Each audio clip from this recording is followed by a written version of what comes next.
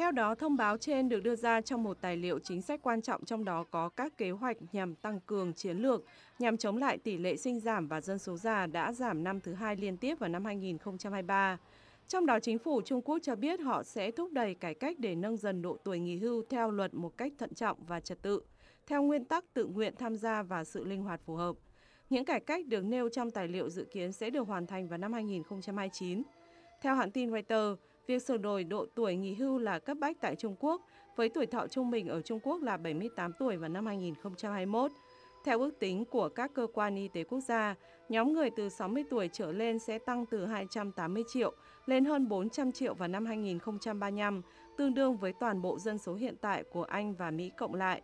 Các nhà kinh tế cho rằng hệ thống lương hưu hiện tại của Trung Quốc vốn dựa vào lực lượng lao động đang hoạt động, đang bị thu hẹp để trả lương hưu cho số lượng người về hưu ngày càng tăng là không bền vững và cần phải được cải cách. Dữ liệu của Bộ Tài chính Trung Quốc cho thấy 11 trong số 31 khu vực cấp tỉnh của Trung Quốc đang bị thâm hụt ngân sách lương hưu.